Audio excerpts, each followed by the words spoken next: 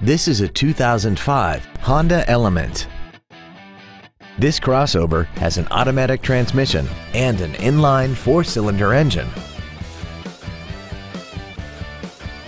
Features include air conditioning, a folding second row, cruise control, a CD player, a driver airbag, full power accessories, a rear window defroster, an anti-lock braking system, a keyless entry system, and alloy wheels. We hope you found this video informative.